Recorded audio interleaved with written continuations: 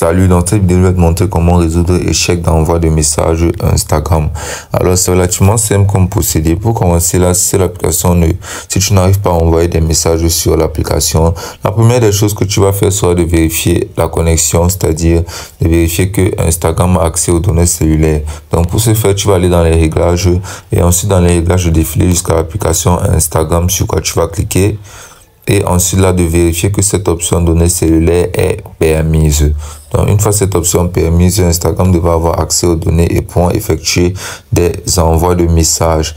Donc, dans le cas où ceci ne fonctionnerait toujours pas, tu vas te rassurer d'être connecté à un Wi-Fi ou bien d'avoir un forfait de données mobiles dans ton téléphone.